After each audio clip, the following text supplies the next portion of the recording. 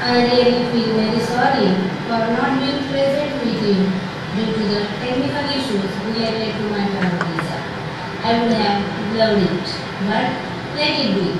Though I am not there, I am sure Professor Shivaji Sarkar, the author of my paper, will make you familiar with my views and opinions about what kind of uh, politics is involved in the use of language in literature and how the different groups react to these politics.